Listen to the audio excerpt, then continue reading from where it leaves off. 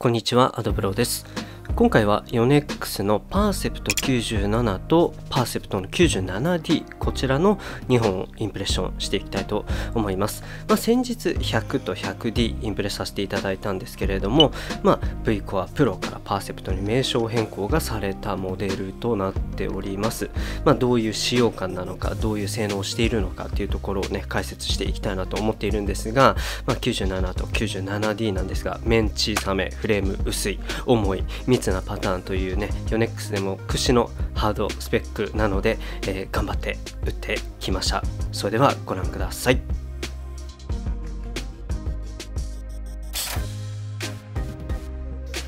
はい、ではまずは打球感のところからお話をしていきたいと思います。で今回もヨネックスさんにお借りしたデモラケ使用しておりましてストリングはどちらも、えー、ポリツァーレブの1.25ミント色を貼ってあります。でまず97の方なんですけれども、えー、先日インプレをした100とか、え、100D に比べて、えー、個人的に感じたのはストリングのたわみ量がちょっとこう、まあ、面がねちっちゃい分若干抑えられている気がしました。でその分、えー、フレーム自体はですね、まあ、RH も低いですししなやかなはずなんですけれども打った感触としては意外とクリアで、えー、そしてダイレクト感があるような感じがしました、はい、なので何て言うんですかね100の方が僕は打っててうん、マイルドな感じっていうのがして97の方がこうよりダイレクト感があって、うん、こうスピードを出しやすいというか振った分ボールに力が伝えやすいような印象はありましたね。で前作とかもまあ僕打ってるんですけれどもまあ正直そこまで大きな変化っていうのはないのかなというそんな感じでした。で次に 97D の方なんですけれども、えー、まあ重くなって、え、ストリングパターンがより細かくなっているというのが大きな違いで、え、ただ RH とかは、ま、ほぼ同じ数値なのでしなる量とかは多分変わってないっぽいんですね、え、ただ打球感としてはまあねあの結構違うなと思います。はい、そもそもね振ってる感触が全然違うので、はい、こっちの方がまあねあの振ってて明らかに重たい。っていう感じで重さを使うっていう意識が断然強くなるので、うん、よく言えばね重さを使ったそのうん楽みたいなのもできる部分もあるし、当然あの触れないと、えー、全然ボールが飛ばない苦しさっていうのもあるしというところでまあ本当にそのえー、97、えー、18×20 のパターンそして 320g っていう、まあ、ハードスペックらしいそんなフィーリングになっているのかなと思います。はい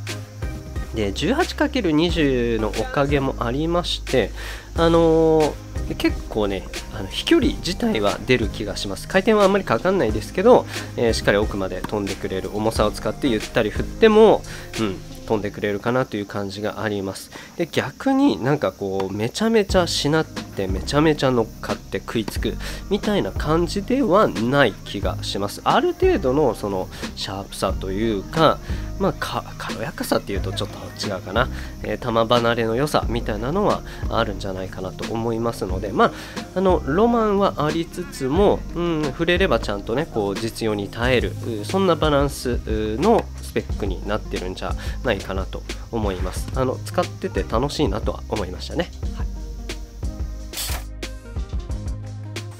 はい、では続いては性能についてお話をしていきたいなと思います。まずはパーセプトの97の方なんですけれどもまず先にね言ってしまうとですね、まあ、今回6機種全部お借りして打たせていただいたんですけれども、まあ、97が僕は一番苦戦したかなというような感じでした。はいえー、実際使ってみて、えー、310g バランスが310なんですけれどもヘッドはすごく楽に出てくるし取り回しもいいし、まあ、やっぱりこのスペックの振り心地僕は好きだなと思ったんですけれどもただ、えー、ボールに力があまり乗らないというかですね、えあまり飛ばなかったです。はい。あの 100とか 100D の方が飛ぶし、え 97D の方が重みで飛んでくれるしうん、97がなんか一番こう中途半端な感じになっちゃった気がしますね。でストリングパターン16、19なのであの回転の調整とかも全然ねあのしやすいと思います。えー、97で,、えー、でフレーム厚も 21mm なので、まあ、そこから想像する使用感みたいなところからは全然外れてないと思うんですねただ他のスペックと比較してしまうとちょっとこう何て言うんですかねここが武器ですっていうところがなんかちょっとね見つからないかなと思いましたね。あの汎用性の高さだったらパーセプトの100選べばいいかなって思いますし推進力とか、まあ、ロマンとかね求めるのであれば 100D もあるし 97D もいるしというところでちょっとねこう97をあえて選ぶというのが僕の中ではうん大きな理由があまり見つからなかったかなというようなところは正直ありました。あの何かがすごい悪いわけじゃないんですけれどね。はい。なんか結果どれも中途半端かなという気がしました。はい。でボレーも実際やってみたんですけれどもあの悪くはないですね。はい。本当にね 97D あのめちゃめちゃ悪いとかじゃないんですよね。ただあのここだっていう光るものがねやっぱりちょっとねなかなか見つからなかったかなという感じでした。で100に比べるとフレームも薄いですし面もちっちゃいのでまあボレきついんかなと思ったんですけれども意外とその、うん、ストリングがたわみすぎずに、えー、弾き返してくれる感じそのシャープさのおかげで僕はあ意外と問題なく使えたかなと思います。すごいいいボールかと言われると、それはまた別の話なんですけどね、はい、問題なく使えるのかなとは思います。で次に 97D ですね、まあ、基本設計は同じなんですけれども重さとストリングパターンが変わってますよというそんな、えー、スペックなんですけれどもあの97から持ち替えて、えー、球出しをするとですね、まあ、明らかにあの飛びます、はい、めちゃめちゃ飛ぶ、はい。もちろん取り回しとかは全然良くないと思います。あのパッと持ってあっ重てえなこれっていうのはすっごい感じます。が、えー、その分触れた時はちゃんと飛びますし、えー、なんならあの97ほど触れてなくても重さのおかげで、えー、飛距離も出てくれるというようなところもメリットなのかなと思いました。ただ1820なので、まあ、パワーロスせずに前方向に力が伝わるという一方を、えー、弾道を上げたりとかですねスピンをかけたりっていうのはもちろん厳しいです。はい。あの中くらいの弾道で何て言うんですかねつないでいこうとかあしのいでいこうとかっていうのには、まあ、なかなかね向いてないところはあるかなとは思うんですけれども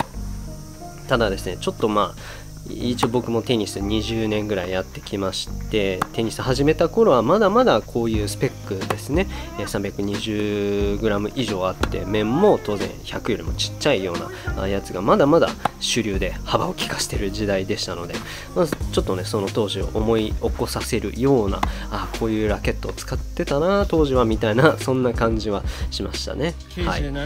で次にボレーなんですけれどもボレーはまあ、あの、そこそこ打てます。はい、そこそこ打てます。あの、100と 100D の時もそうだったんですけれども、重さと密なパターンが組み合わさることによって、まあ、ブロックするような感じですね。ラケットの重みを使って、えー、とにかくインパクトだけ集中して、えー、打ち返すみたいなのは 97D もやりやすかったかなと思います。っていうかまあ取り回しが正直そんなに良くないので逆にこう押すように打つとか、えー、少しこうスイングでね、え運ぶようにして打つみたいなのはうんちょっとね難しい気がしましたね。はい。でやっぱりその97に、え、18×20 のストリングパターンなのでストリングがターム感覚っていうのはまあなかなかね出てこないところかなと思います。なので意外とあのうんそのしなりのあるラケットの使い方っていうよりは、まあ、しっかりブロックして使うというイメージの方が僕はあいいボレーが打てたんじゃないかなと思います。ここら辺はね人によってだいぶ違うかなと思いますしこのフレームに、まあ、柔らかいストリング貼ればまたちょっと違ってくるのかなとは思うんですが、まあ、レブを貼った限りではちょっとね、えー、ブロックでコンパクトに打ち返すっていうのがうまく打てる秘訣だったかなと思います。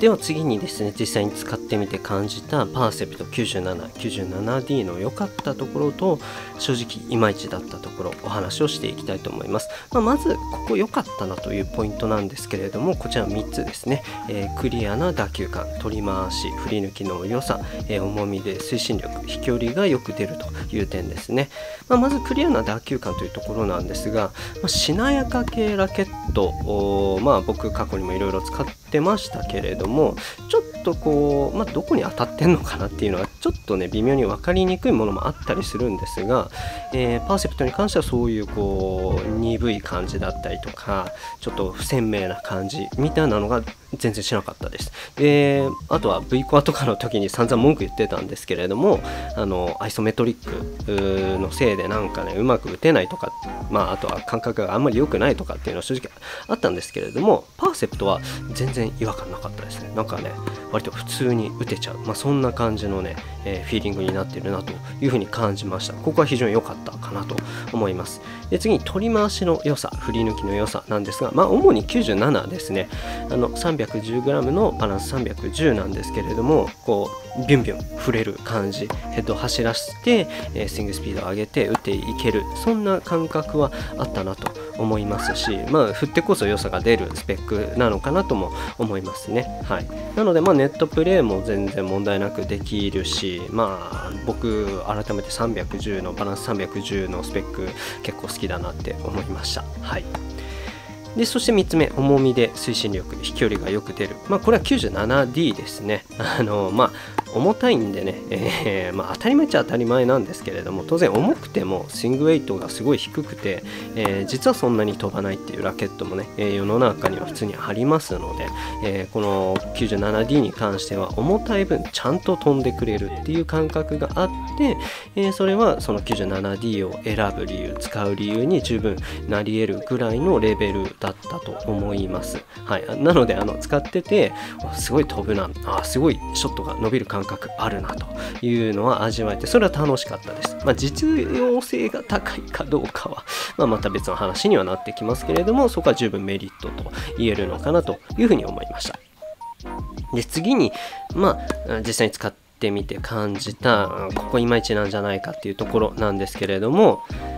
まあ、正直あの性能的な部分であったりとかフィーリング的な部分に大きな不満っていうのは僕はなかった。ですしまあもちろんあのハードスペックなんで振らないとダメだしアシストも少ないしっていうのはあるんですがまあ言うてね言うて97ですしまあそういうもん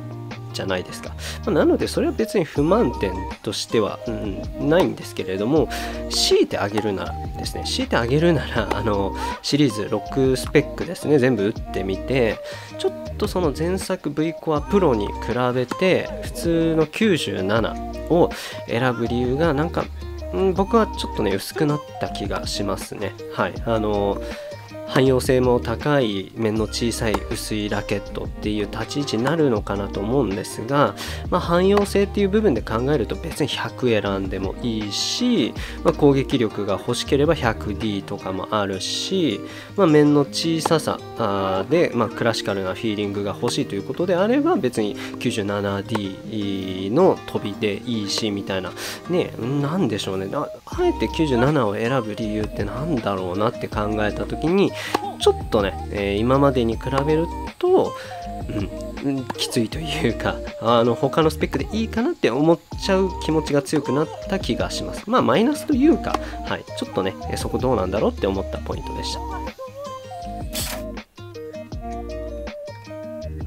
それではここからはライバル比較ですね、まあ、こういうラケットがライバルになるんじゃないかみたいなところのお話を軽くしていきたいなと思います。まずパーセプトの97の方なんですけれども、まあ、面に関しては97か98ぐらいで、まあ、21mm 前後のわりかししなやかなフレームのラケットトが対抗機種になってくるのかなと思います。まあ、具体的な製品名いくつか挙げさせていただくと、えー、プロスタッフの97だったりとかブレードの98、ファントムグラファイトの97、えー、ブーンプロツアー98、TR960 のコントロールツアー16、19のパターンの方だったりとかっていう感じで、まあもちろんあの、がっつりライバルではないものもこの中に当然含まれてますが、例えばプロスタッフとかちょっとフィーリング違うと思いますし、まあ、ツアー98もフレームの厚さだいぶ違うんですけれども、まあまあ比較対象として入れていいぐらいのレベルなんじゃないかなと思います。まあその中で、パーセプト97を選ぶとしたら何なんでしょうね。癖のなさとか、